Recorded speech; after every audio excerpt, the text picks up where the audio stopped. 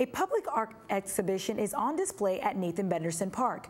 The Fence Art exhibit visits eight cities across the United States, drawing in more than 6 million visitors.